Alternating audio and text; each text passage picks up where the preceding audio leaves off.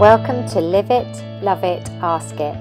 This is a regular series that I run fortnightly in my Facebook group, Live It, Love It, Sell It.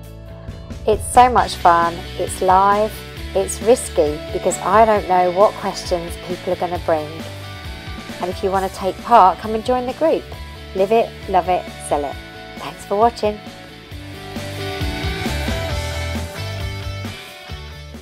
Okay, so welcome everybody to Live It, Love It, Ask It. I love these. This is our third one. This is with the beautiful and fabulous Nancye Wilson, all the way over in the Netherlands. How wonderful. So this is a, a European Live It, Love It, Ask It. Um, and Nancye, I have no doubt, has prepared a question for me. I have no idea what the question is. We do have to say that because that's the whole fun of this. So as I always say every week, if I don't know how to answer the question, we'll have technical problems and we may have to go offline. don't be silly. You know all the answers to every question possible. Nancye, you're too kind and now that's put a bloody jinx on it, no doubt.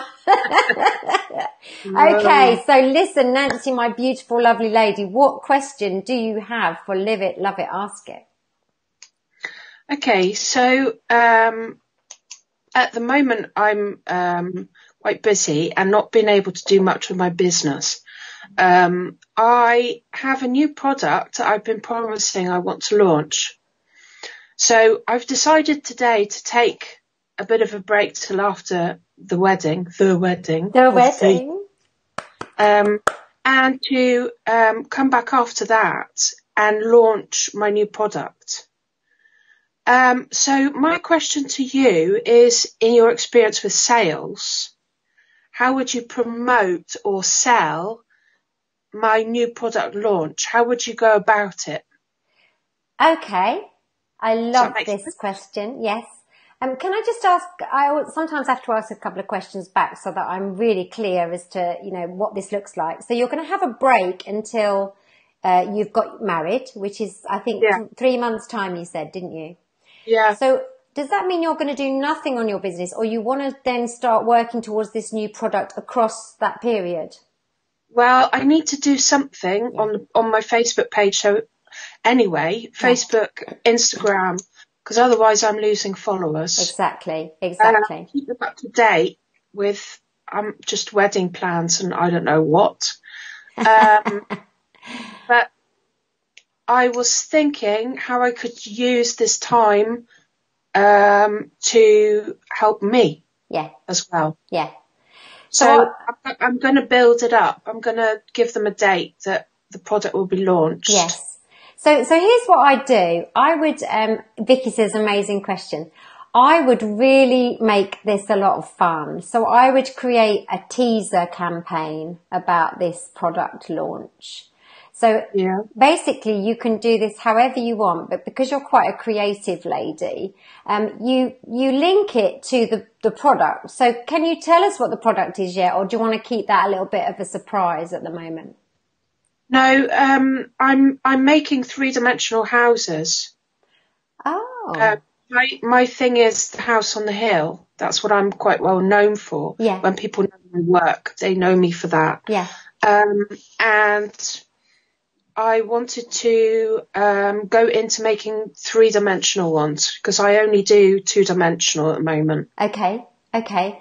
So it, I think it's all about trying to build the suspense and the excitement of this product launch. And that's the beauty of having a lead up to it. So if you know what the launch date is, which you've just mentioned, you're going to have a launch date. You can build a little, what we call a little campaign, a teaser campaign in the lead up to that launch date. So you start to think about, well, what sort of things can I start to post? And you can do it either with, um, perhaps, uh, clues, you know, so little tasters of what this might be. So you're almost keeping people in suspense as to what the actual product's finally going to look like. Because the point is you want to keep them engaged. You want them to keep waiting for the next clue. So you almost make it, you know, you could make it like a treasure hunt type of thing, you know, where you keep finding various parts of the the lead up to the product. I mean, you're the creative here, so you'll think of what this could look like because it has to be right for you. But it's about being regular and consistent So like you say, you've got this little time out that you're going to take, but actually you still need to be doing something and having a presence in that lead up. So do you schedule posts or do you do them yourself manually? I, yeah, I have done. At the moment, I've just stopped everything because it's been quite a hard time. Yeah. But now I'm starting to feel a little bit better. Um, I want to try and start scheduling again. Yeah, yeah. So you can start thinking, right, how often do I want to schedule? And then actually, what's the message I want to build up for people in the, the lead up to this product launch? And also, yeah. what's, what's their call to action? So what do you want them to do once you launch the product? So do you want them to go to a specific sales page and buy it? Or do you want them to uh, apply for a free sample or apply for, you know, whatever it might be? I'm talking hypothetically. You know, what do you want them to do at the end of this little teaser campaign. So you imagine it, can't you? Like, I'm waiting now for the next thing that you're going to tell me. So it could be a picture of something. It could be a little subliminal message, but especially with Instagram, because that's very visual, isn't it? With pictures. Vicky said I was just going to say like a treasure hunt. Yeah, so you could almost get them collecting elements towards a code that they could then use when they purchase the product to give them a, a small percentage of, of um, well, I don't like the word discount, Nancye, as you know, but you know, something, something off as a bit of a gift back, five pound voucher or a, whatever it might look like. So actually that's quite a nice one that the, the teaser campaign is about collecting a code that they could then use to redeem against buying that product once it's launched. That's a really good way to keep engagement because, you know, I guess I don't know what you have over there. I'm thinking you've got things like McDonald's. Dare I mention it? But even if you don't eat McDonald's, they're very renowned for some of their campaigns where they have collections and you, have got to collect so many things to get something at the end of it. It's a very, very well known marketing uh, strategy. So you, actually, that the the collecting fits in quite well because I was talking to Joelle about she was talking about something I'm not quite sure what it was. Forgive me, Joelle. I do pay attention. um, but I was thinking about um, bringing in um, collections, so to collect things. Yeah. To collect a range. I love that. And so you could do, uh, collect a range of something, but, but actually if it's then towards the launch, so something I can then use, be it, you know, like I say, something to redeem or, or something that adds value to the product when I buy it, whatever it looks like, then you've got me all the way through. So I'm going to start with you right at the beginning. I'm going to keep following the teaser campaign and then I'm going to have something at the end of it. So that's actually a real little piece of magic that is. So yeah, somebody, I think I would need to see who that message is from because I've got, um, Sam Adams, Sam Adams is watching. Vicky says amazing question. Eleanor Gould is watching. Evening, Sam. There might be a bit of a lag on this. Um, Ellie Wilson's watching. Um, I was just going to say like a treasure hunt. Yeah. So I'm getting like the back now of this because this is just catching up here. But yeah, vouchers, the Eleanor says vouchers are a great idea. Ultimately, whatever it is you do, you need to have me right from the beginning, right through to the product launch. And so yeah. that I, I do not ever feel like I need to leave this because I've got to keep following because I want to know what the next thing is that happens. So I love this. I love teaser campaigns because they're so great. When you're a creative, you can really start something quite magic.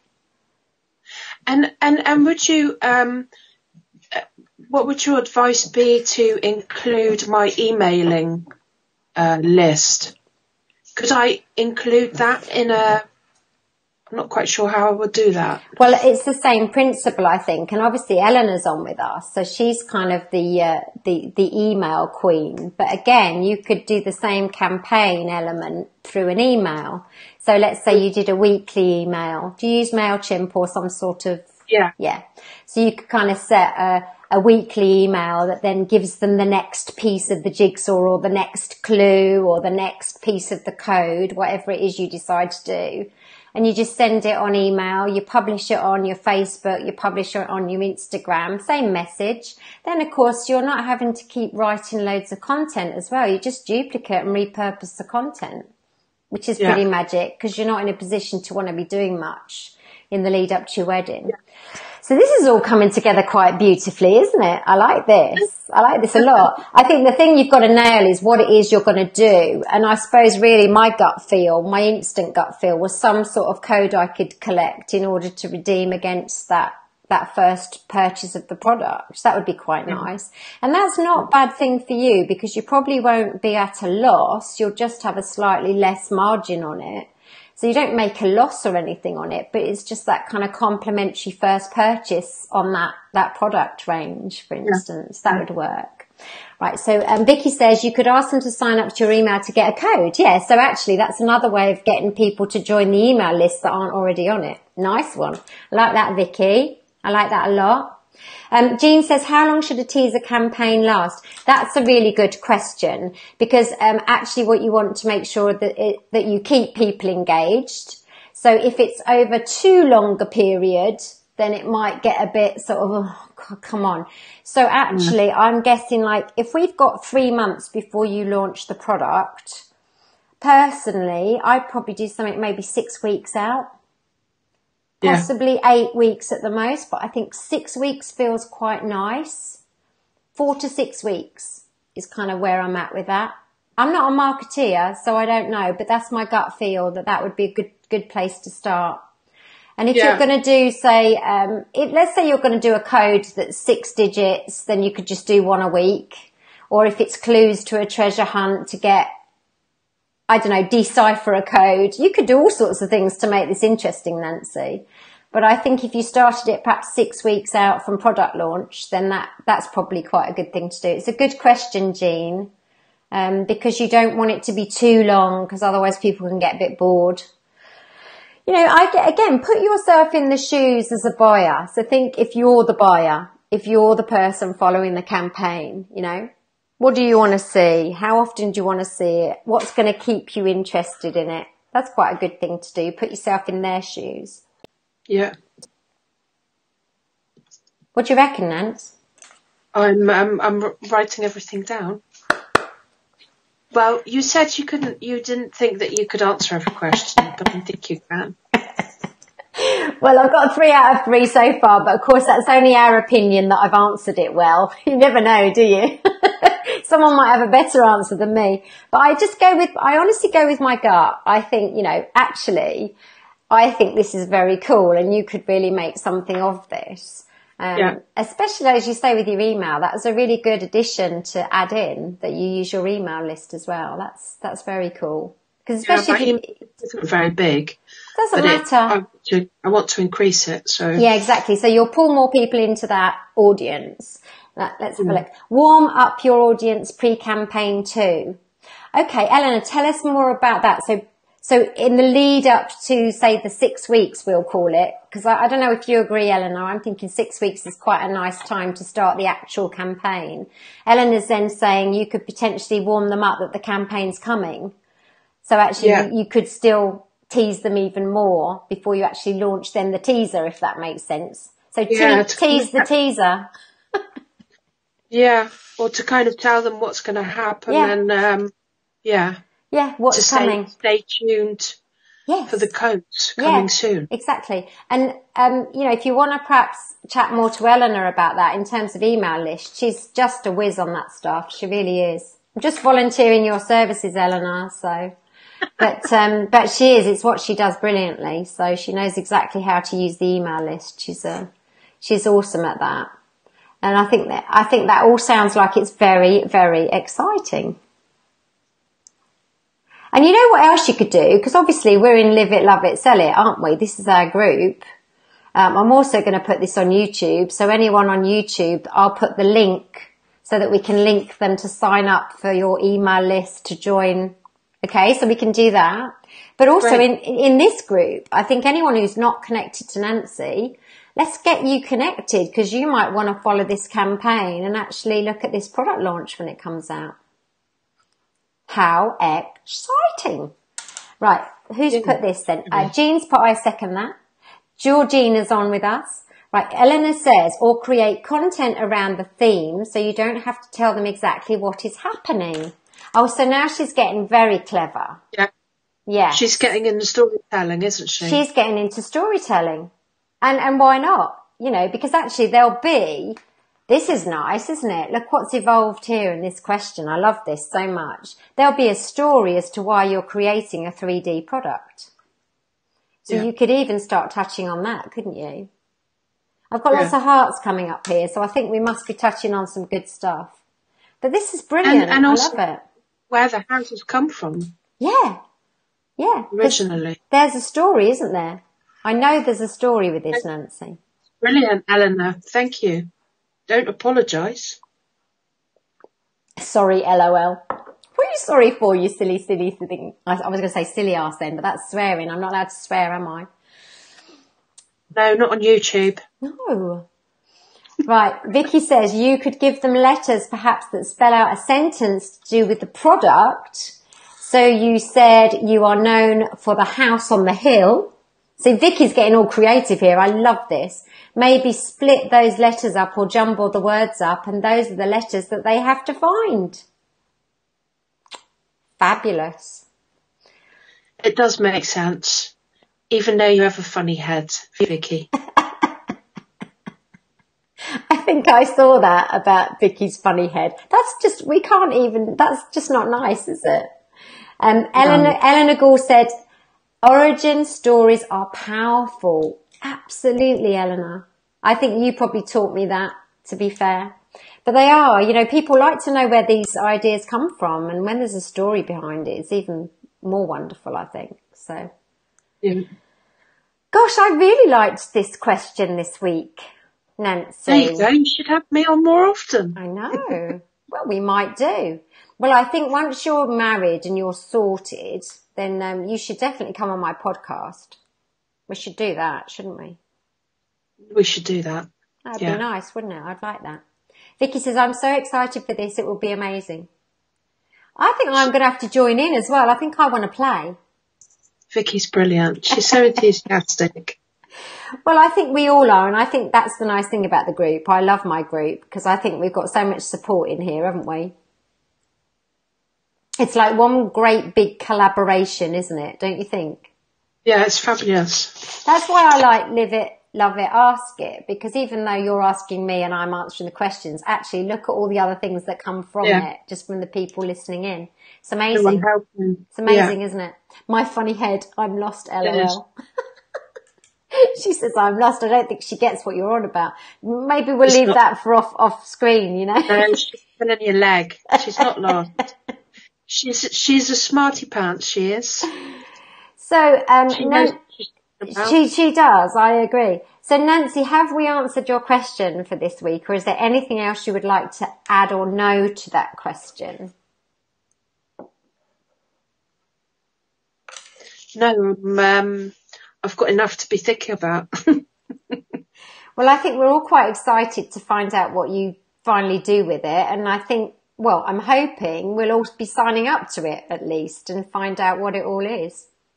yeah, that would be fantastic. Good, excellent. So um, you send me your links as well, um, maybe on Messenger, and I'll make sure that they get all put onto this when we when I produce it for YouTube. All of the ladies listening, amazing you've joined us. I love this. Yeah, I, I really everyone. do. Thank you so much. You've really added value to the conversation, haven't they, to, tonight? Um, and obviously, if you want to sign up to Nancye's email list, then um, we will put the link below, won't we, Nancye? We will. Thanks for joining us on Live It, Love It, Ask It, I really hope you enjoyed it as much as I did. If you'd like to subscribe to my YouTube channel, then please do, and don't forget to press the bell so that you get every notification of new videos loaded. Hope to see you again really soon. Take care and ta-ra for now.